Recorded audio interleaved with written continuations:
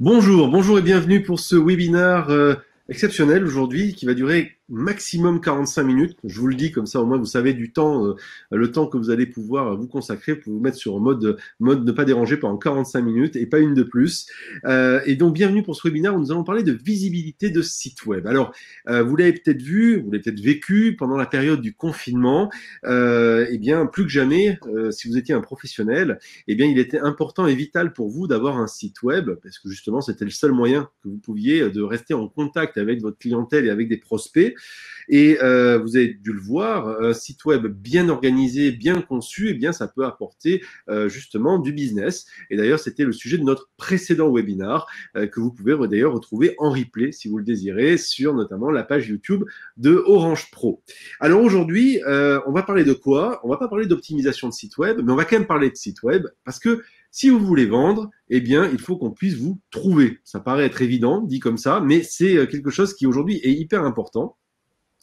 Euh, et donc, pour être trouvé, il faut faire quoi? Eh bien, il faut travailler sa visibilité, la visibilité de votre site web euh, sur donc Internet. Et donc, pour cela, aujourd'hui, nous allons avoir euh, trois leviers concrets et très opérationnels pour booster la visibilité de votre site web. Et pour cela, j'ai deux experts qui m'accompagnent. Je vais vous présenter d'abord Johanna. Johanna, bonjour. Bonjour à tous, je suis en charge du marketing pour les offres de visibilité digitale chez Orange et tout particulièrement pour les pro PME. Très bien. Et qui revient pour ce deuxième webinaire Emmanuel. Oui, bonjour Damien, bonjour Johanna, bonjour tout le monde. Donc, euh, je suis business développeur sur la visibilité sur Internet euh, au sein d'Orange. Alors, qu'est-ce qui va se passer pendant ce webinaire de 45 minutes? Eh bien, d'abord, euh, nous allons échanger avec vous, comme je vous disais, sur trois leviers concrets que vous allez découvrir dans quelques instants. Deuxième chose, il y a vos questions. C'est un webinaire qui est totalement interactif. J'ai la capacité de lire vos questions, d'en prendre quelques-unes à la volée au fil justement de notre discussion. Donc, n'hésitez pas, si vous avez des questions euh, qui vont venir au fil de l'eau, eh bien, n'hésitez pas à les poser. Chez nous, on répond pas aux questions à la fin, on répond au fil de l'eau comme une vraie conversation. Et puis, il y a un troisième, point important à, vous donner, c'est le fait que vous allez avoir la capacité, et vous le verrez à la fin de ce webinaire, de participer, si vous le désirez, à un bêta-test, un bêta-test qui aura pour objet justement de vous aider à améliorer la visibilité de votre site web. Si vous êtes intéressé par cela, et donc c'est une offre exceptionnelle puisque c'est une proposition exceptionnelle qui vous est faite puisque c'est un bêta-test, donc quelque chose qui est en cours de test, comme son nom l'indique, eh bien, restez avec nous jusqu'à la fin. C'est Johanna qui vous expliquera tous les détails et tous les éléments pour euh, bien simplement rejoindre ce bêta-test si vous le désirez. Alors, on va attaquer immédiatement par deux choses. D'abord, un sondage. Je vous ai vous pouvez d'ailleurs y répondre déjà. Euh, un sondage que j'ai mis en ligne sur Comment faites-vous pour être visible sur Internet? Alors, vous avez la, la, capacité sur votre écran de répondre à un sondage sur la droite. Comment faites-vous pour être visible sur Internet? Alors, réponse A, je travaille le référencement euh, en ligne de mon site. B, j'achète de la, pub en ligne. Ou C, à vrai dire, je ne sais pas trop. Donc, euh, euh si vous avez la possibilité de répondre à ce, sondage dès maintenant, eh bien, n'hésitez pas, ça nous permettra d'avoir un peu une idée de, euh, de, de, ce que vous attendez de ce, de ce webinaire. Et en attendant les, les réponses, on va commencer par attaquer immédiatement par notre premier sujet. Notre premier sujet, c'est celui de la présence sur les annuaires. Alors, euh, Emmanuel, justement, on va en parler. Les annuaires, euh, c'est quoi, pour ceux qui ne savent pas ce que c'est, qu'est-ce que c'est que les annuaires, à quoi ça sert, euh, sachant qu'il y a une information intéressante à se donner, c'est que 92% des consommateurs choisissent une entreprise dans les résultats locaux qu'ils obtiennent euh, sur Internet. Alors, merci pour cette, pour cette question, cette introduction. Alors, un annuaire, de manière générale, c'est un site, une application qui regroupe un certain nombre d'informations vous concernant et qui les met à disposition du public. Donc, pour nommer les plus grands, ayons en tête Google My Business, le 118 712 chez Orange ou euh, les pages jaunes. Hmm. On a tendance souvent un peu à les oublier, mais ce sont des audiences très très fortes. Le premier réflexe des consommateurs, lorsqu'ils se connectent sur leur moteur de recherche, ils ont les résultats de ces annuaires. Donc être présent sur les annuaires, c'est vraiment une manière simple et très souvent peu onéreuse euh, d'être visible et donc de booster sa visibilité, ce qui est l'enjeu de notre conférence aujourd'hui. Alors voilà, je mets les, je mets les logos à l'écran, effectivement, les, les classiques que l'on connaît. Hein. Euh, donc il y a bien sûr euh, les pages jaunes, le 118 712, et puis Google My Business. Vous êtes peut-être d'ailleurs euh, certains, certaines aujourd'hui présents euh, sur sur Google My Business éventuellement. alors je vois dans le sondage, il y a Carole qui nous dit j'utilise aussi LinkedIn. C'est une bonne idée, effectivement. On parlera des réseaux sociaux à la fin. Ce n'est pas le sujet principal aujourd'hui de notre de notre de notre prise de parole, mais on en parlera parce que ça peut être un levier notamment pour la publicité sur les sur les réseaux sociaux. Euh, dernière question, euh, Emmanuel, euh, sur la, question des, annuaires. Donc les annuaires, il faut y penser. C'est on va dire c'est une première étape quelque part de visibilité. Oui, c'est ça. C'est une première étape et, et, l'offre qui est proposée par les annuaires généralistes ou des annuaires spécialisés sur des domaines d'activité, en fait, ce sont des offres gratuites ou des offres payantes qui rajoutent des couches de services pour encore augmenter la visibilité. Justement, voilà, parce que c'était ma dernière question sur le sujet. Est-ce que c'est gratuit? Est-ce que c'est payant? C'est un peu les deux finalement. Il y a un peu des deux chez tous ces, euh, pour toutes ces sociétés. Plus l'offre est payante, plus il y a une couche de service qui va notamment permettre de sortir premier dans un certain nombre de moteurs de recherche.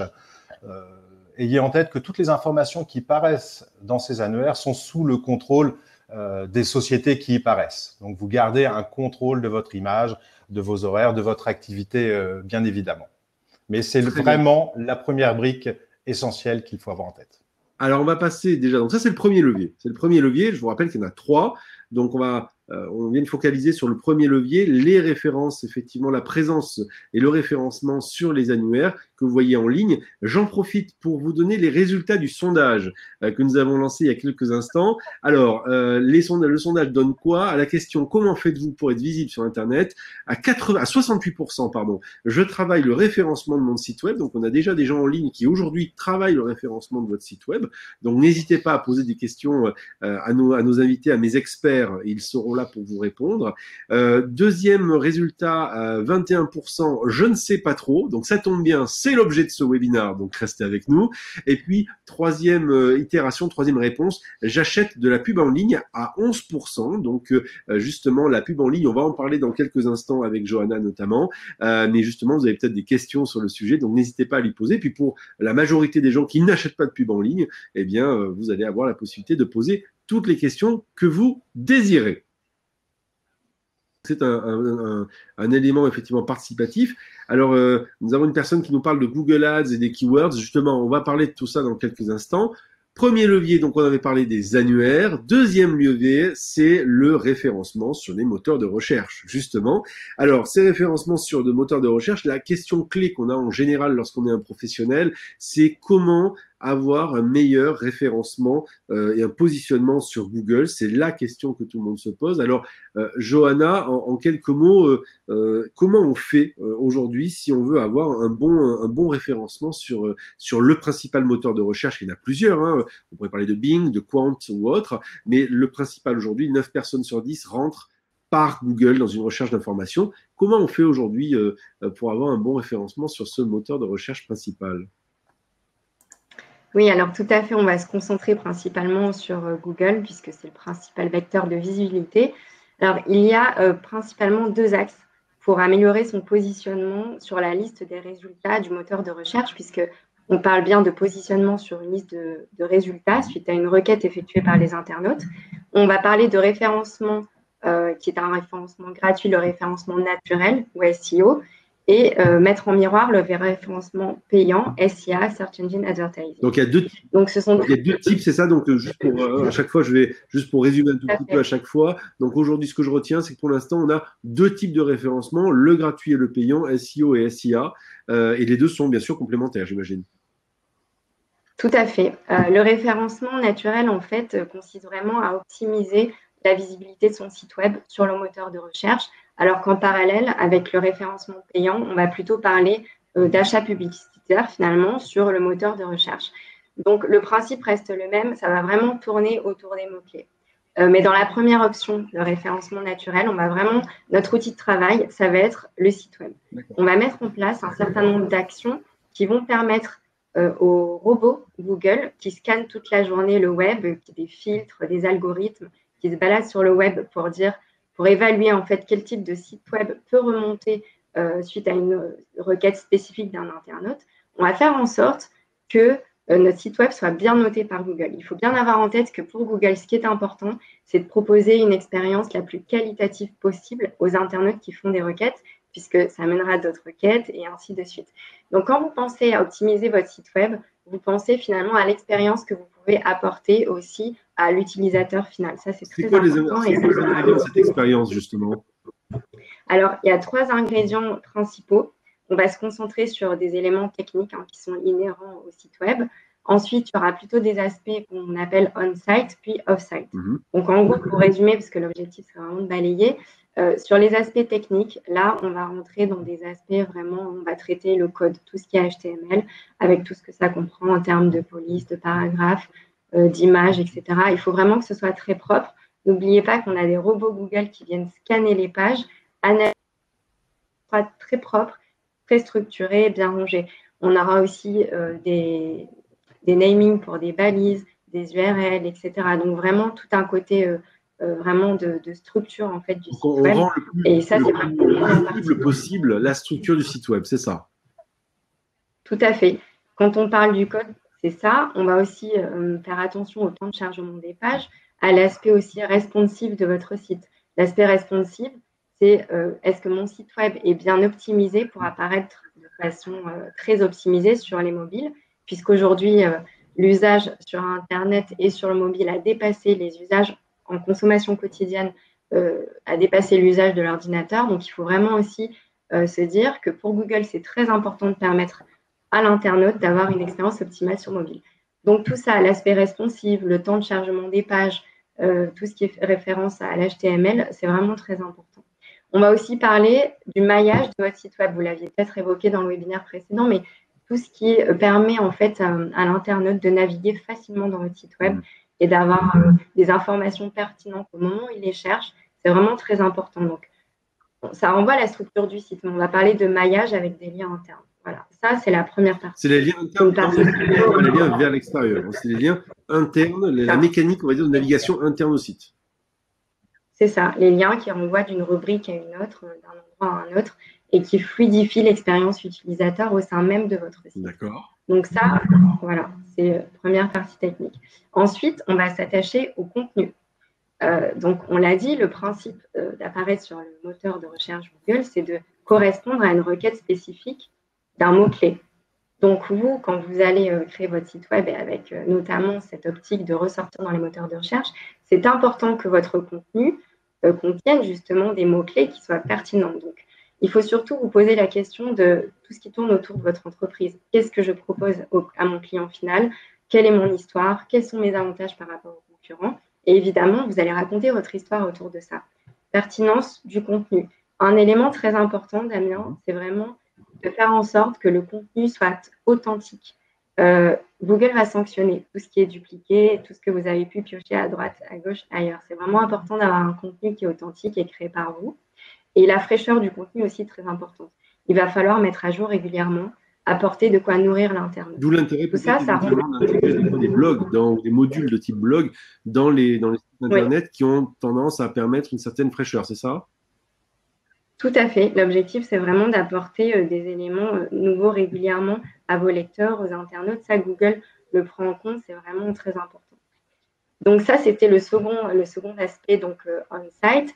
Et enfin, le dernier aspect, donc pour grossir hein, le, travail, c'est vraiment, on va parler de popularité de votre site. On a parlé tout à l'heure de liens internes. Il y a un aspect qui est très important pour Google, c'est de savoir si d'autres sites internet renvoient vers votre site. Est-ce que vous avez créé des partenariats avec d'autres sites qui sont pertinents par rapport à votre business, à votre thématique, qui sont de qualité? Est-ce que vous êtes considéré comme un référent dans ce secteur? Tout ça, c'est très important pour Google. Il va le scanner, il va le voir, il va voir qu'il y a des liens qui renvoient vers votre site. Et donc, ça va augmenter votre popularité et donc votre score pour Google et permettre d'être euh, bien situé dans les, dans les résultats. Je reviens un instant, Johanna, sur le deuxième point qui est l'action des contenus. Euh, quand on dit des contenus originaux, euh, donc des contenus qui n'ont pas été piqués ailleurs, qui n'ont pas été copiés-collés ailleurs, parce que Google le sait, puisqu'en fait il a une vision un peu très 360, omnisciente de, des sites web. quand on a des photos, par exemple, il faut préciser, j'imagine, les bons mots, les, les nommer comme il faut pour faire en sorte que Google sache bien ce que, de quoi il en retourne? C'est ça. En fait, ça fait partie, ça fait partie de la première partie hein, dont on parlait tout à l'heure sur les éléments techniques. Mhm. Il y a vraiment, ça fait partie. Il y a une, des codes à respecter en fait sur tout le contenu qu'on va inscrire sur le site web. Il y a un système de noms, de balises, de codes, etc. pour que vraiment au moment où, les robots, les algorithmes vont passer, ce soit très clair, identifié, etc. Il faut bien se, mettre à la place de, du, du, robot et faciliter la tâche en fait du scan. Euh, pour vous aider d'ailleurs, euh, Google a proposé un outil, hein, la Search Console, qui vous permet justement de, de scanner votre site et de voir quels sont les éléments de, faiblesse, euh, les éléments qui sont potentiellement à améliorer et de comprendre ce qui se passe sur votre site au moment où Google passe. Très bien, donc ça, pensez-y pour ceux qui sont en train de nous regarder. Euh, Google Search Console, si vous désirez regarder, faire un scan un peu de la, on va dire de la, qualité, si on peut dire, de, de la lecture de, de, votre site web par les robots de Google. Ça, c'est pour la partie technique, on va dire, et référencement naturel. Euh, donc déjà, on se rend compte quand même que c'est pas quelque chose qu'on sait forcément faire tout seul et il faut éventuellement un conseil aussi par rapport à ça. Euh, mais c'est quelque chose qui a une compétence vraiment importante. C'est pas que les mots clés dans les textes, c'est pas que avoir un joli site, etc. Ça c'est un, premier point. Ça c'est pour la partie gratuite. Et puis donc il va y avoir, comme on le disait tout à l'heure en introduction, la partie payante qui est complémentaire. C'est bien ça, Johanna? Oui, tout à fait. Alors juste un petit complément par rapport euh, à ce que ça demande en termes d'investissement. Il y a tout un travail au départ euh, de la construction du site, mais après, comme on l'a dit, il y a vraiment un, effort sur le long terme pour pouvoir euh, continuer à garder une structure propre de site et à rajouter du contenu. Donc, c'est vrai que ça demande un investissement en termes de temps et d'expertise, effectivement. Euh, donc, sur l'aspect référencement client maintenant, donc le SIA ou Search Engine Advertising, on va, le principe est, quasiment le même, hein, de se positionner donc le mieux possible et ça tourne autour de mots-clés. Mais là, on va vraiment être dans l'achat euh, de publicité. Donc, ça va plus passer exactement sur le site web. On va se retrouver dans une interface Google Ads qui va nous permettre de gérer des campagnes. Et là, effectivement, on a un certain nombre euh, également d'actions à faire. Donc, la première question, c'est déjà d'être très clair sur sa stratégie, son objectif ou ses objectifs, puisqu'en fonction de ça, on va avoir des indicateurs de suivi de performance, qu'on appelle KPI, qui vont être différents. Donc ça, la première étape, c'est d'être clair là-dessus. Ensuite, effectivement, comme le disait euh, l'un des auditeurs, on va vraiment se concentrer sur les mots-clés. Et là aussi, il euh, n'y a pas de secret, on va parler de pertinence des mots-clés. Euh, Google est là pour nous évaluer sur la réponse qu'on peut apporter à un internaute suite à une requête.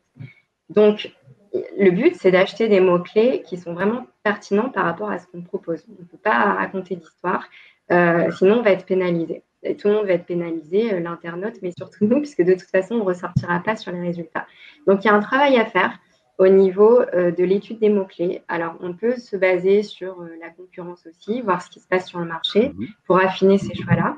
On peut s'aider d'outils, hein, évidemment, internes à Google, Keywords Planner, qui va nous aider à avoir des mots-clés, des synonymes, etc.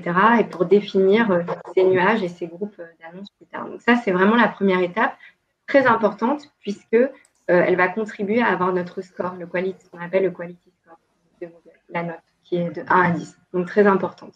Ensuite, on va nous Un petit instant, Johanna, je, vous coupe, mais euh, juste pour dire aux participants, donc ça c'était le point tout à l'heure qui était souligné, est-ce qu'il y a des gens, moi ça m'intéresserait de savoir, d'abord vous savez que vous pouvez poser des questions, je vous le rappelle, euh, si par rapport à ce que tu en train de raconter, notamment Johanna, si vous ne savez pas ce que c'est que le quality score ou autre, allez-y, c'est le moment où jamais poser des questions. Et puis moi, j'aimerais vous poser une question aussi à vous qui êtes en train de nous regarder, là, euh, les 130 personnes qui sont avec nous aujourd'hui, c'est les euh, de savoir s'il y en a certains d'entre vous euh, qui déjà euh, font des campagnes, euh, par exemple AdWords, si ça se passe bien, si justement il y a peut-être des choses à, optimiser ou autre. Ça m'intéresse d'avoir, et ça nous intéresse d'avoir aussi votre retour. N'hésitez pas à le faire dans le chat. Pardon, Johanna. donc, vous disiez, deuxième élément. Alors, le deuxième élément, c'est qu'une fois qu'on a sélectionné des mots-clés, on va nous demander d'enchérir dessus, c'est-à-dire de définir un CPC, un coût par clic. Alors, vous savez que peut-être ou peut-être pas, mais en fait, euh, vous allez payer au moment où l'internaute va cliquer sur votre annonce et seulement à ce moment-là. Mais donc, il faut avoir en tête un prix maximal, enfin une fourchette en tout cas, que vous êtes prête à payer pour un certain mot-clé. Alors là, encore une fois, avec les outils, vous pouvez avoir des, euh, des, indicateurs et l'objectif, c'est de trouver, entre guillemets, le, juste prix. Le prix qui est juste pour vous, mais suffisant euh, pour ressortir face à vos concurrents. Donc, il y a tout un travail à faire au niveau de, du tarif, en fait, et des enchères c'est le cœur de le cœur en fait du référencement payant. Alors, l'étape. Johanna, j'ai deux questions. j'ai une question de, Pauline qui nous dit pouvez-vous nous expliquer alors les alors pardon c'est une question qui était sur la partie juste avant sur les liens nous expliquer les liens sur les backlinks les liens externes qui mènent à mon site est-ce qu'on peut en dire un, petit mot Johanna? Oui alors là enfin faut faire très attention parce que des Google est je vous disais très attentif aux bonnes pratiques. L'objectif, en fait, c'est de créer des partenariats. On va parler de partenariats entre différents sites, donc d'aller à la rencontre de, euh, partenaires, entre guillemets, euh, qui sont des sites qui pourraient avoir un lien avec la thématique de votre business, qui pourraient être complémentaires, euh, que vous pourriez aller voir, avec qui vous pourriez discuter pour leur demander d'intégrer un lien qui renvoie vers votre site web et inversement, de faire des renvois d'audience, mais dans un but vraiment avec une pertinence, du sens pour l'internaute. Hein le sens derrière et le fait qu'on parle bien d'internautes qui vont aller euh, se balader d'un site à un autre, qui cherchent des informations et le but, c'est qu'ils trouvent des réponses qui leur conviennent. Donc, c'est vraiment d'établir une sorte de maillage externe. On parlait tout à l'heure de maillage interne dans le site.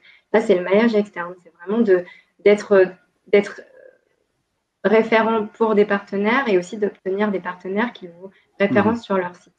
Voilà. Et à certains endroits de, de site web. En gros, c'est là. Alors, j'ai une question aussi de euh, de Gunet qui nous dit comment pouvons-nous trouver les tendances de mots-clés euh, Alors, il y a des outils, d'ailleurs, sur Google, hein, qui permettent d'avoir, d'avoir les tendances, de savoir un peu quels sont les mots-clés les plus demandés. C'est bien ça? C'est ça. En fait, vous avez des outils comme Google Trends qui vont vous donner euh, des tendances sur des mots-clés, la volumétrie.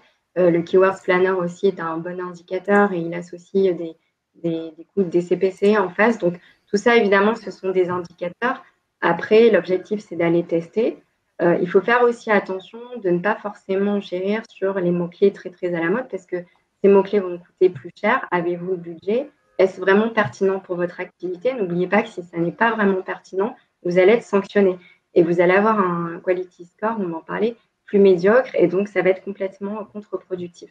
Mais effectivement, avec ces outils-là, vous pouvez déjà avoir une bonne idée des mots-clés des requêtes et notamment des saisonnalités. C'est ça qui est intéressant aussi, c'est de voir que pour des métiers saisonniers, on a vraiment des courbes de tendance et c'est très intéressant de voir à quel moment tel mot-clé est plus plébiscité. Alors, une autre question qu'on peut se poser, euh, c'est est-ce qu'on peut faire ça seul? Alors, je vois dans le chat pas mal de gens. C'est bien, c'est amusant parce qu'il faut que vous sachiez, hein, euh, Emmanuel, Johanna, que, les personnes qui sont en ligne se parlent aussi entre eux. Ça, c'est ça qui est génial.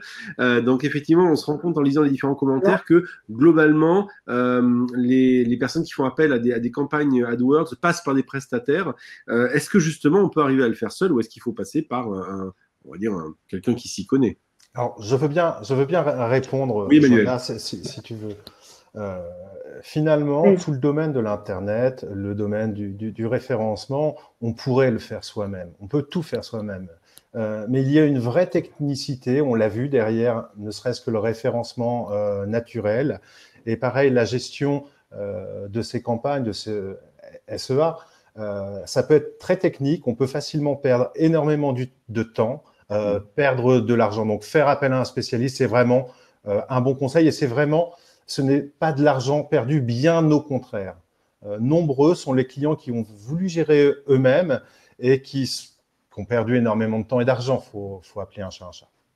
Alors, il y a une question, une remarque de Yusra qui nous dit qu'elle utilise un prestataire externe pardon, pour gérer les campagnes. Et puis, ils se sont rendus compte finalement que les enchères étaient trop chères. Je reviens sur ce que vous disiez, Johanna. Euh, et que euh, donc ils perdaient de l'argent et qu'ils ont donc décidé de cibler uniquement les top ventes. Est-ce que c'est une bonne pratique? En fait, euh, c'est justement, c'est là aussi que c'est très important d'être accompagné par un expert, c'est que on peut démarrer, et de toute façon, on démarre une campagne à tâtons avec euh, des mots-clés et des enchères. Et euh, c'est très important de faire du monitoring derrière pour justement voir si on est complètement à côté de la plaque, entre guillemets, ou pas. C'est-à-dire soit les enchères sont vraiment trop basses, on ressortira, ressortira pas, même si on a un très bon quality score. Et inversement, si on est positionné trop haut, on risque de payer beaucoup trop cher le CPC par rapport à ce qu'on pourrait. Il y a aussi des groupes de mots-clés qui vont bien ressortir, mais qui n'amèneront pas de conversion derrière. Donc, vous allez ressortir, mais ça ne va jamais cliquer ou ça va cliquer, mais mm. pas convertir. Et on peut rester un temps comme ça très important avec des campagnes qui ont l'air propres et bien paramétrées, mais qui au final font perdre de l'argent. Donc effectivement, on peut ajuster ensuite sur des top ventes, etc., prioriser, et c'est l'objet de l'accompagnement des experts, de dire je vais me concentrer dans un premier temps sur ce groupe d'annonces et pas sur un autre, sur un type d'activité de mon business ou pas, etc. Donc effectivement, c'est alors, Johanna Emmanuel, deux questions. réponse rapide que je vous demande. Virginie qui nous demande, alors pour Johanna, elle dit euh, merci Johanna, je cite. Euh, pour Google Trends, que pensez-vous de Uber, euh, Uber Suggest? Mon domaine d'activité est assez spécifique et j'ai du mal à trouver les bons mots-clés. Uber Suggest, c'est, j'imagine, un outil qui permet aussi de cibler des mots-clés. Alors, très honnêtement, je, ne maîtrise pas Uber Suggest, donc je ne vais pas pouvoir vous éclairer sur la question. Euh, mais voilà, il faut vraiment avoir une. Je comprends pour certains types d'activités, ça va être notamment quand c'est très spécifique. Mais ce qu'il faut voir, c'est que euh, c'est là aussi qu'il y a une opportunité, quand vous avez une niche, de pouvoir euh, utiliser des mots-clés plus spécifiques qui sont moins utilisés par les concurrents et qui vont être dans, dans vos budgets et dans vos ordres de prix. Euh, là, dans ce cas-là, il faudrait peut-être nous contacter et voir avec des experts alors, il y a Sébastien qui nous fait une remarque qui est très juste, qui dit on peut faire des campagnes SIA seul, donc autrement dit des campagnes payantes, euh, et après, lui, il fait ce qu'on appelle un, A-B testing, donc il teste différents types de campagnes et il voit celle qui marche le mieux. Oui, euh, Sébastien, tout à fait, on l'a dit tout à l'heure, euh, référencement gratuit, référencement naturel, on va dire référencement payant, tout est possible et combinatoire, on peut mettre en combinaison, c'est entièrement logique. Sabrina qui nous, nous demande à quel moment devons-nous faire appel à des experts pour le référencement de notre site internet? Johanna, Emmanuel Oui. Alors en fait, comme on dit tout à l'heure, vous pouvez tout à fait démarrer seul euh, et mettre en place certaines bonnes pratiques. Le gros challenge, en fait, euh, là-dedans, c'est que Google met très souvent à jour ses algorithmes et ses outils. Euh, l'objectif, c'est d'innover en permanence, c'est de faire en sorte qu'on soit toujours plus performant. Du coup, ça va avec de l'innovation de leur côté sur des outils, des fonctionnalités. Donc, ce qui va se passer, c'est que si vous arrivez à gagner un niveau d'expertise à un moment donné, euh, vous pouvez très vite euh, vous trouver dans une face à confronter à une innovation et devoir réapprendre sur le sujet, maîtriser, etc., en plus de gérer votre campagne. Donc, euh, vous pouvez tester et commencer à un moment donné, douiller, mettre en place des campagnes. Mais si vous voyez que vous n'avez pas de résultat, il ne faut pas perdre de temps et aller très rapidement voir des experts parce que l'expert ensuite va avoir du mal à rattraper euh, des, des, setups, qui, des paramètres qui ont été mis en place, qui sont erronés et pas corrects, il va y avoir un long euh, travail de, rattrapage. Donc, voilà, je ne veux pas non plus, comme l'a dit Emmanuel, euh, l'idéal, c'est vraiment de se faire accompagner. Si vous vous sentez attiré par ce domaine-là et capable de le faire, franchement, allez-y, tâtonnez, testez, découvrez. Ça vous permettra aussi de, de discuter avec votre expert. Mais je ne perdez une dernière remarque avant de passer à notre sujet d'après, justement, qui va faire le lien avec notre troisième levier. C'est Yousra qui le dit. Euh, pour les entrepreneurs qui n'ont pas le temps, euh, d'après vous, et qui veulent améliorer donc rapidement le référencement naturel, quels sont les leviers les plus importants? Backlink, blog, texte sur le site, réseaux sociaux. Euh, sur quoi se baser en premier? Alors très brièvement, parce qu'on a déjà un peu répondu à ça. Donc là sur le SIA, qu'est-ce qui est le sur le SEO, pardon. Qu'est-ce qui est le par quoi il vaut mieux commencer finalement? Honnêtement, c'est très dur de, donner un poids à tout ça. Je pense que ce qu'il faut avoir en tête quand vous êtes un entrepreneur, vous créez votre site web très rapidement. Il faut créer un site propre d'office. On ne peut pas se permettre de commencer à faire des erreurs dans le code et dans la structure. Après, on va le payer très cher derrière. Ça, c'est la première chose. Le contenu, vous le ferez au fur et à mesure. À la limite, l'essentiel, c'est déjà, je pense, d'avoir une structure propre, euh, vraiment dans le, code, euh, etc. Je dirais que c'est la première partie, c'est ça. Ensuite, vous prendrez le temps d'enrichir les contenus et de créer des partenariats. Donc euh, finalement, on va respecter l'ordre qu'on a mentionné tout à l'heure, c'est-à-dire la technique, les contenus et les partenariats. Donc, sera pour finir, si effectivement vous passez par un professionnel, que ce soit une agence ou comme on l'a vu dans le premier webinaire, typiquement bah, des offres comme Orange propose de monter des sites, par nature, ce sont des produits qui sont naturellement optimisés pour euh, justement les moteurs de recherche. Je pense qu'Emmanuel ne me contredira pas sur ce sujet. Dernier point, euh, ça coûte combien de passer par un expert demande Laurence. Euh, est-ce, qu'on que vous pouvez déjà nous donner un ordre de prix éventuellement, Emmanuel Ça coûte combien de passer par un expert ou on en parle un peu plus tard? On peut d'ores et déjà donner un ordre, un, ordre de, prix. Euh, la gestion d'une campagne, il faut compter un budget simplement sur les aspects techniques, pour le groupe Orange notamment, de l'ordre de 200 euros par mois. Voilà. Donc, hein, sans compter les, frais de publicité. Hein. Après, il y a l'argent qu'on va investir. Ce que l'on a dit notamment sur le SIA, c'est qu'on va acheter de l'espace publicitaire. Donc, si on va en avoir beaucoup, euh, il va falloir mettre un montant plus conséquent. Voilà, Laurence, Laetitia, c'est un début, un début de, réponse. Euh, et puis dernier point, Miloud qui nous demande, euh, on a parlé de partenariat pour créer des liens. On va pas revenir sur ce point-là parce qu'on va avancer, mais juste pour dire qu'en gros, le principe, c'est de dire passer des partenariats, des échanges, on va dire de liens finalement, des sites autres, euh, par exemple, je sais pas, des partenaires, des prestataires, qui vont renvoyer vers vous depuis leur site web, et donc ça donne un niveau de crédibilité, on va dire, de respectabilité, euh, un indice tout au moins, au moteur de recherche de Google. Alors, euh, on va commencer. Dernier point intéressant à retenir, c'est 90% des consommateurs n'ont pas fait leur choix avant de chercher en ligne. Ça veut dire quoi? C'est-à-dire que le fait d'être découvrable, de, pouvoir faire en sorte qu'on puisse vous trouver, même si on sait qu'on cherche une machine à laver, eh bien on ne sait pas euh, encore chez qui on a envie de l'acheter. Est-ce que c'est chez un petit détaillant euh, au coin de la rue ou est-ce que c'est une grande enseigne? Eh bien justement, ces stratégies, notamment autour des, publicités en ligne, permettent justement d'apparaître et de répondre à cette attente. Alors, le troisième levier euh, dont on va parler, c'est la publicité sur les réseaux sociaux, justement, parce que quelqu'un nous parlait tout à l'heure des réseaux sociaux. La publicité des réseaux sociaux, elle est importante aussi. Euh, alors justement, la publicité des réseaux sociaux, comment ça se présente aujourd'hui, sachant que 74% des publicités sur les réseaux sociaux euh, ont comme, dire comme, comme appel à action d'acheter immédiatement. Donc c'est quelque chose qui est assez immédiat, c'est quelque chose qui est assez spontané. Est-ce que aujourd'hui euh, comment on peut, on peut attaquer cette question de la publicité sur les réseaux sociaux quand, soit parce qu'on a une communauté, soit parce qu'on n'en a pas? Comment, comment on gère ça? Oui. Alors, les réseaux sociaux sont effectivement devenus absolument incontournables. On va parler ici hein, clairement de, Facebook et aussi d'Instagram, parce qu'Instagram appartient à Facebook. Mais Facebook est devenu incontournable. On a un niveau d'audience qui est absolument extraordinaire euh, au niveau mensuel. Donc, euh, c'est devenu incontournable. Euh, d'avoir une page déjà sur le réseau social va permettre de faire de la publicité, mais c'est vraiment le premier socle. C'est-à-dire que ça va être votre point de contact avec votre, avec euh, votre communauté, vos clients, vos prospects. Ça va être l'occasion d'être euh, en interaction permanente avec eux et de les engager. Donc, c'est complémentaire au site web qui va être quelque chose de plus complet et de plus mmh. institutionnel.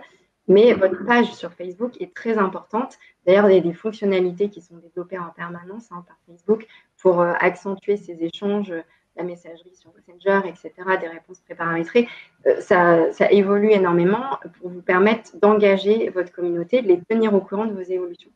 Ça, c'est la première chose et c'est euh, franchement incontournable, mais ça demande, euh, tout comme les sites web, de mettre à jour très régulièrement des contenus et de nourrir. Si vous ouvrez une page et qu'il ne se passe rien pendant un an, là, vous tirez une balle dans le pied. Donc, il faut être quand même assez active sur sa page. Ensuite, euh, le deuxième axe pour être présent sur les réseaux sociaux, c'est effectivement de faire de la publicité, donc payante. Donc là, vous allez clairement acheter de l'espace pub sur le réseau social. Vous allez apparaître à différents endroits euh, dans, le, réseau social, c'est-à-dire que vous allez finalement investir euh, l'écosystème de l'Internet qui va être sur son réseau. Il y a différents endroits. Vous allez pouvoir faire de la publicité dans les stories, dans les fils d'actualité, apparaître mhm. entre deux postes. Donc l'internaute se sera abonné à, je ne sais pas, un ami, puis à, une page d'une association, euh, Greenpeace, et votre publicité pourra apparaître à un moment donné entre les deux. Euh, ou sur la colonne de droite, où il y a différents endroits, idem sur Instagram. Donc là où tout à l'heure, pour le référencement, on était vraiment dans de la publicité qui va répondre de façon très contextuelle et précise à une demande, Là, c'est tout à fait autre chose, même si les objectifs sont communs de rentabilité, de conversion. Vous allez investir l'univers intime de l'internaute, vous allez cibler une audience. Facebook a énormément de données hein, sur les internautes, sur leur centre d'intérêt, sur leur réseau, sur leur goût, sur leurs activités. Vous allez pouvoir cibler très précisément ce que vous considérez être comme votre euh, cible, vos, prospects, vos clients, et investir leur univers personnel. Il y a des formats aussi euh, qui sont euh, très attractifs et très donc, différents par rapport à ce qu'on peut faire sur le référencement payant. Vous allez avoir beaucoup de visuels, alors des carousels, des diaporamas euh, qui vont permettre de raconter une histoire et d'emmener aussi du coup l'internaute dans l'histoire de votre entreprise, de vos produits, etc. C'est très immersif. La vidéo aussi, qui est un format vraiment qui est en train d'exploser, on le voit même avec l'intégration de sous-titres regarder des vidéos à tout moment sans déranger. Donc là, on va vraiment avoir euh, une autre optique. On va aussi se baser sur, sur la publicité dans les réseaux sociaux, comme Facebook par exemple. On n'est pas forcément obligé aujourd'hui d'avoir une communauté. On est d'accord, on peut aussi bien faire de la publicité pour son site sans forcément gérer une page. Alors techniquement, euh, voilà, comment ça se passe, c'est que vous allez, au même titre que pour le référencement payant sur euh, Google, vous allez euh, entrer dans une interface qui s'appelle Business Manager, qui va être l'endroit où vous allez gérer vos campagnes. Donc choisir des audiences, votre budget, créer les annonces de diffusion, etc. Et pour ce faire, vous devez lier votre compte Facebook et avoir une page pour votre entreprise. Donc il y a quand même, si vous voulez, des éléments qui sont incontournables. Autant pour Instagram, vous n'avez pas besoin d'avoir de compte Instagram autant pour démarrer la publicité sur Facebook et donc Instagram, il va falloir quand même avoir une page. Donc, c'est vraiment bien de, raisonner en termes de communauté. Effectivement, comme tu le dis Damien, la pub peut renvoyer euh, soit sur le site web, soit sur une page Facebook, soit sur un compte Instagram. Euh, voilà, la landing page, ce qu'on appelle la landing page, euh, c'est très libre et c'est au choix. Mais il faut quand même avoir. Alors, juste, il nous reste 10 minutes et on a encore plein de choses à se raconter. Donc, très brièvement, sur les réseaux sociaux, est-ce que les campagnes de pub, de manière très rapide, Johanna, est-ce que, je peux faire ça seul ou à, ou à nouveau, un peu comme Google, il vaut mieux avoir quelqu'un qui sache m'aider à monter ces campagnes? Alors, c'est assez facile, intuitif, hein, c'est même ludique. On peut dire que c'est même ludique, en fait, de créer une campagne sur les réseaux sociaux. Euh, voilà, on peut choisir une cible, un emplacement, des formats, etc. Mais ça, c'est en apparence. Après, comme on le disait, hein, c'est la même stratégie pour, les, pour le référencement payant. Il y a quand même un score qui est attribué par Facebook, etc. Il faut travailler la qualité. Donc, il y a une vraie réflexion autour du budget, autour de l'audience mmh. choisie et surtout euh, du suivi de l'optimisation, ce qu'on appelle le monitoring. On va lancer la campagne, on va l'observer, on va voir ce qui marche, ce qui ne marche pas, on va rafraîchir les formats, on va changer les annonces, on va faire des A-B testing. Et tout ça, ça demande quand même une expertise pour éviter de dépenser du budget pour rien. On risque sinon d'être vite échaudé et de se dire bah, finalement ça ne marche pas, euh, ça ne sert à rien ou euh, c'est mon entreprise, etc., qui, pas de, qui ne rencontre pas son audience alors qu'on a peut-être fait de fausses manipulations ou qu'on est passé à côté. Dernière question et on va passer, on va répondre aux différentes questions justement qui correspondent parfaitement à la dernière partie de ce webinaire. question sur euh, sur, le, budget minimal. Est-ce qu'on peut parler de budget minimal euh, à investir sur les réseaux sociaux ou pas, typiquement Facebook par exemple? Oui. Oui, oui, tout à fait. il faut considérer qu'en dessous de 6 euros par jour, puisque vous avez la possibilité d'allouer un budget mensuel au quotidien ou de, lisser euh, les dépenses, en, dessous de 6 euros par jour, ce n'est pas raisonnable de faire quelque chose. C'est vraiment le minimum pour pouvoir démarrer, engager, être au contact de ce, de, sa communauté et de ses futurs clients. Euh, d'ailleurs, j'en profite pour dire que ce qui est intéressant aussi sur les réseaux sociaux, c'est vraiment de, au-delà de, des, indicateurs euh, classiques de performance, on va mesurer l'engagement euh, de nos publicités, enfin l'impact avec l'engagement de notre communauté via des likes, des partages, des commentaires. Donc, on a des indicateurs qui sont nouveaux et complémentaires par rapport. Alors, dernière partie. Mais Comment je fais maintenant très concrètement? J'ai une question pour Emmanuel de Rémi. Euh, qui, euh, qui nous dit, Rémi, euh, qui dit, vous faisiez référence à la, présence sur les annuaires, est-ce que vous proposez une prestation à ce sujet? Alors oui, comment faire? Donc, Le groupe Orange à destination des TPE-PME, notamment, a une offre Contact qui se propose de gérer la parution annuaire en étant prioritaire donc sur le 118 712 et qui va également gérer la parution sur l'annuaire Google My Business et pour un coût de 9,90 euros par mois. Simplement un chiffre à retenir, peut-être, le 118 712, c'est 3 millions de connexions tous les mois. Donc finalement, c'est. Euh, c'est loin d'être anodin, effectivement. Ne les oublions pas. Miloud qui demande dans une agence Orange, peut-on trouver un interlocuteur pour le référencement de son site web?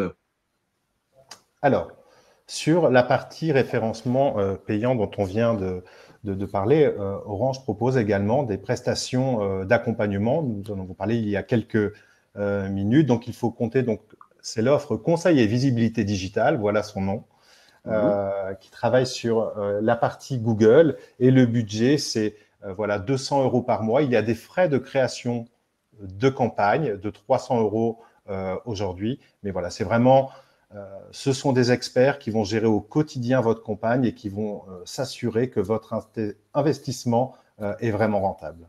Rémi Miloud, si vous voulez plus d'informations, vous avez un bouton sur lequel vous pouvez, en bas de l'écran, vous pouvez demander à ce qu'on vous recontacte et vous pourrez justement creuser toutes ces, toutes ces questions que vient, tous ces éléments que vient de vous donner Emmanuel.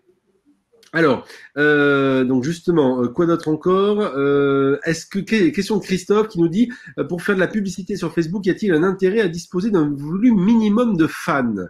Johanna Non, non, non, non, pas du tout, parce qu'en fait, vous allez, vous allez cibler une audience que vous allez définir. Donc, cette, cette audience-là, peut être totalement indépendante de vos fans. L'objectif, c'est peut-être au contraire même d'aller chercher euh, des prospects qui vont devenir ensuite des, femmes, des fans, puisque le trafic mmh. va être redirigé, si vous le souhaitez, sur votre page. Il y a une décorrélation entre le nombre de fans et les cibles finalement qu'on peut toucher, tout simplement. Tout à fait. Après, ce qui est sûr, c'est que si vous renvoyez vers votre page Facebook, c'est toujours bien pour Internet d'arriver sur une page qui a déjà une communauté. Euh, une page qui est animée avec du contenu, une communauté qui participe, ça c'est sûr. C'est le cercle vertueux en fait hein, de la visibilité.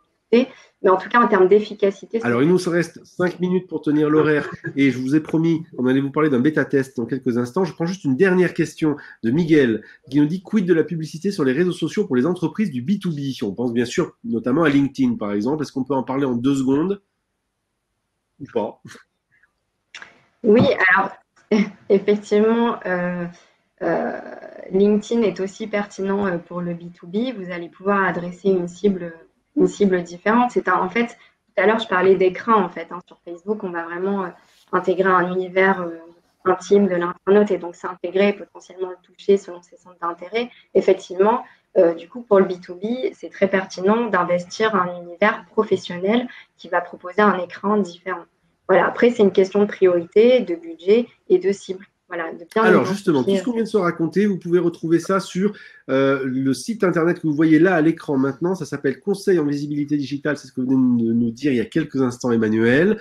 Donc vous tapez visibilité.orange.fr et vous allez retrouver vous me dites si je me trompe, hein, Johanna Emmanuel, vous allez retrouver les offres dont on a parlé, euh, le conseil, l'accompagnement qui est possible. Vous pouvez aussi demander à être rappelé, donc en, contactant, en connectant, en utilisant l'outil, le, bouton qui est en bas de l'écran là de ce webinar tout de suite, et on va vous recontacter si vous désirez avoir des informations complémentaires sur des choses dont on a parlé aujourd'hui dans ce webinaire. On a conscience qu'il y a beaucoup de choses à dire, on a conscience que votre temps est précieux, donc c'est pour ça qu'on essaye d'être le plus efficace possible. Donc n'hésitez pas à demander à être recontacté ou tout simplement d'aller vous-même sur le site web visibilité.orange.fr. Et puis pour finir, euh, on va vous parler de, de, de, bah, de d'une chose assez exceptionnelle qu'on voulait vous proposer. C'est Johanna qui vous a vous en parlé euh, de deux offres ou de plutôt de deux participations possibles à euh, des bêta tests, donc des choses qui sont en train d'être testées. Mais je laisse Johanna en parler un peu plus, notamment la première, euh, ce premier bêta test qui est le bêta test sur. Alors je reprends juste voilà le les réseaux sociaux. Oui, tout à fait. Donc comme le disait Emmanuel. On a aujourd'hui une offre euh, qui s'appelle Conseil Visibilité Digitale qui vous permet euh, de booster et de vous accompagner euh, sur vos campagnes de référencement payant sur Google, donc via Google Ads. Ça, c'est une offre que vous connaissez peut-être, en tout cas qui existe et qui est lancée. Aujourd'hui, on en a parlé, les réseaux sociaux sont incontournables. On a à cœur de vous accompagner également sur les réseaux sociaux, donc Facebook, Instagram. Cette offre sortira très bientôt, très prochainement. Donc, nous avons à l'heure actuelle un groupe de bêta-testeurs sur cette offre-là. Ce qu'on vous propose aujourd'hui, c'est de rejoindre ce groupe de bêta-testeurs avec des conditions très, très avantageuses puisque euh, Orange va vous offrir tout l'aspect euh, prestations et services. Emmanuel parlait tout à l'heure de frais de création de campagne. C'est tout le travail en fait qui est lié à l'étude de votre entreprise, de vos concurrents, euh, de, de, votre paysage concurrentiel et de votre stratégie, de la mise en place de la campagne avant diffusion, puis ensuite, euh, vous le savez, donc il y a un abonnement mensuel qui correspond vraiment au monitoring des campagnes, au changement, au bêta-testing, etc. Donc, ce qu'on vous propose pour ce bêta-test, si vous rejoignez le groupe des bêta-testeurs, c'est vraiment de vous offrir la partie création de campagne, la partie accompagnement. Donc, zéro euro de frais de création, vous ne payez pas les trois mois d'abonnement. En revanche, ça nécessite bien sûr d'investir de la publicité euh, sur l'achat d'espace pub sur Facebook et Instagram. Donc, on vous recommande d'investir un budget minimum, minimum de 100 euros par mois. Euh, ce bêta test a lieu sur trois mois. Donc, on vous demande d'investir 300, 400 euros euh, sur Facebook et Instagram et tout l'accompagnement d'Orange sera gratuit. Pour ça, il faut nous contacter avant le 10 juillet euh, pour un lancement de campagne avant le 31 juillet. Voilà, il faut que vous soyez prêts à investir sur Facebook et Instagram avant le 31 juillet. Si on se base sur notre offre miroir existante sur Google Ads, ça vous fait une économie. Euh, voilà, donc c'est quand même intéressant. On vous propose cela. Et puis, il y a une deuxième, un deuxième bêta test aussi que vous pouvez rejoindre qui va se lancer bientôt, qui est SEO pour site web, si l'un de vous deux veut en parler. Tout à fait. Voilà, on en a parlé précédemment, donc en début de webinaire. Le SEO est très important. C'est un socle euh, vraiment pérenne. C'est comme un marathon hein, par rapport au SIA qui va être un investissement plus saisonnier, promotionnel, etc. Les deux sont complémentaires. Le SEO est incontournable. On a aussi à cœur de vous accompagner là-dessus. Nous avons également prévu de travailler sur cette offre-là. Nous montons actuellement le groupe de bêta-testeurs. On vous propose également de rejoindre ce groupe-là. Euh, et de nous contacter donc euh, avant le 10 juillet. Nous vous donnerons toutes les informations liées à ce bêta test au moment. Dans les deux cas de figure, si vous êtes intéressé par l'un de ces deux bêta tests, et eh bien tout simplement, vous envoyez un email, euh, c'est écrit là, avant le 10 juillet, à serviceclient.visibilité@orange.com. Et j'ai une question de Melvin et Hamilton. Si c'est bien les Melvin et Hamilton que je connais, c'est d'excellentes chaussures. Le bêta test est-il uniquement pour des sites en français?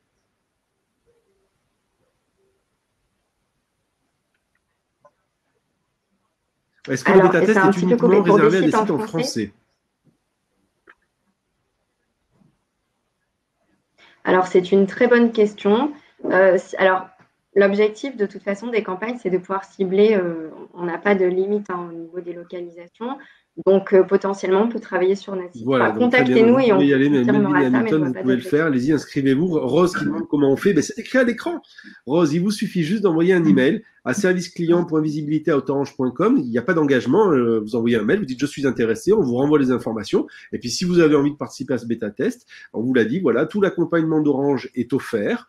Euh, et revanche, reste à votre charge, ce qui est logique, les frais d'engagement, on va dire, de publicitaire que vous désirez mettre pour votre marque ce qui paraît tout à fait logique. C'est pas Orange qui va les payer pour vous, euh, mais en revanche, tout l'accompagnement et l'expertise est offerte aujourd'hui dans cette offre qui vous est proposée.